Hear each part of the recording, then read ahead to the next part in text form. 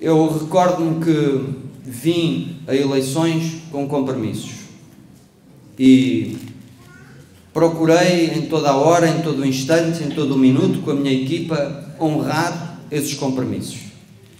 Mas nem sempre isso foi fácil, nem sempre nos facilitaram a vida. Graças à teimosia de alguns, e aqui em particular à minha, e que na última cerimónia, quem decide os fundos comunitários teve de facto esta frase: Óbidos, para além de ser criativo, é teimoso.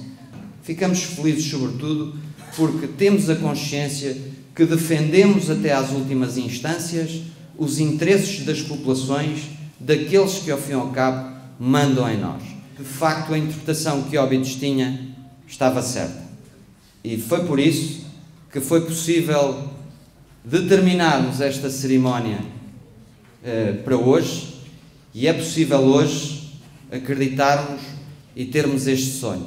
Foi fruto de muito sofrimento, de muitas horas de agonia, mas que eu acho que valeu a pena.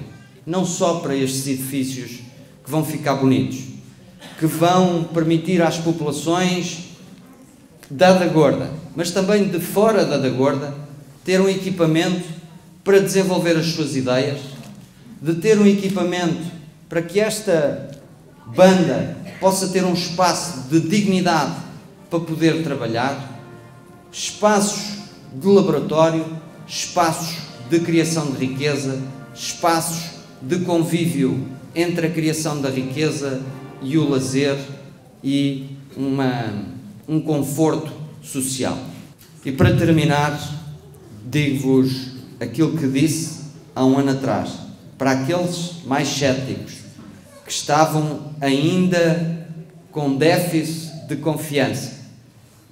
Disse-o em setembro, que em abril de 2017 esta obra começaria. E hoje estamos a assinar a minuta do contrato e falta apenas um passo, mas é o passo menor, que o resto está dado, que é o visto prévio do Tribunal de Contas.